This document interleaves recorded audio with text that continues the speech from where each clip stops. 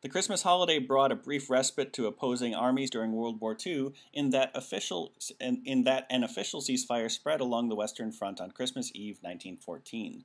So, um, the sentence as written is not grammatically incorrect, but it doesn't uh, do the best job it could of describing the relationship between the two events, namely um, that it was uh, that it was because of the unofficial ceasefire uh, that there was a brief uh, respite to the opposing armies.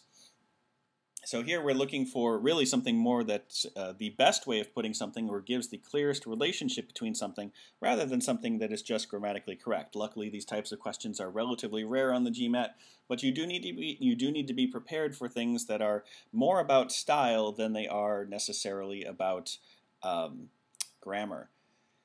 So uh, choice B, um, Christmas holiday brought a brief respite to the armies during World War I, spreading an unofficial ceasefire. So again, that's true. Uh, it did spread an official ceasefire, but it doesn't uh, give a relationship between the two other than saying that they both happened at the same time.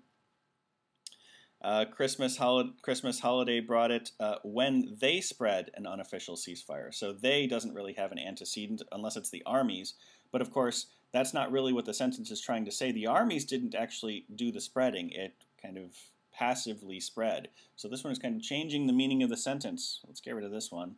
Um, D, uh, it brought brief respite to armies during World War II for an unofficial ceasefire uh, spread along the Western Front. So for uh, has a um, little bit rarer use, meaning because. So here we have a causal relationship. The second thing is what caused the first thing. So this one's promising. Uh, and then E, armies during World War II. Uh, so uh, the Christmas holiday brought a brief respite to opposing armies during World War II by the spread of an official ceasefire. Um, but of course, the Christmas holiday didn't um, do this itself either. That's giving a little bit too much agency to one day out of the year. Um, and so uh, in this particular case, it's, I mean, I suppose you could say this is uh, a little bit more metaphorical, but uh, choice D is a much clearer and um, much less poetic way of describing it. The unofficial ceasefire, ceasefire spread. Um, the Christmas holiday did not actually spread.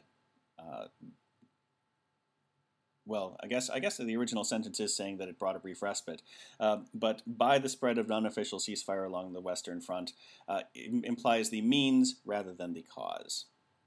So uh, for this one, it is choice D.